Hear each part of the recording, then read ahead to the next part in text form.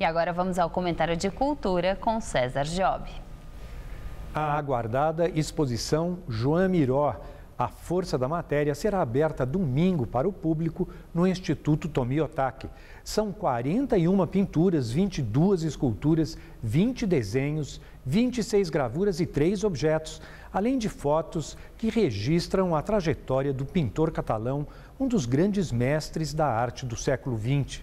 As peças pertencem à Fundação Joan Miró, de Barcelona, e a coleções particulares. De São Paulo, onde fica até agosto, a mostra segue para Florianópolis. E baseado no filme Oito e Meio de Fellini, a montagem Nine, um musical feliniano, faz sua estreia na capital paulista amanhã no novo Teatro Porto Seguro. No elenco, Beatriz Segal, Maiana Moura e Tótia Meirelles, entre muitos outros. A peça é dirigida por Charles Möller e Cláudio Botelho e, assim como o filme, conta a história de um diretor de cinema em crise criativa. No Anhembi, amanhã e depois, Luiz Carlos Miele e João Marcelo Boscoli apresentam o espetáculo que comemora os 70 anos de Elis Regina.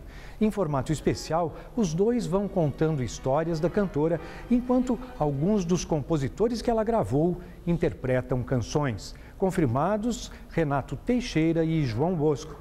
A produção ainda traz uma exposição de fotos e um vídeo inédito de Elis, parte de um documentário com estreia prevista para o segundo semestre.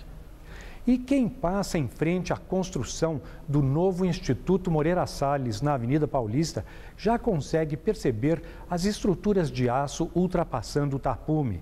A estrutura será recoberta de vidro no final. O projeto é do escritório de arquitetura Andrade Moretim e a inauguração está prevista para 2017. A obra está sendo documentada pelo fotógrafo alemão Michael Wesely, que já fez o mesmo com a Potsdamer Platz de Berlim e a ampliação do MoMA de Nova York.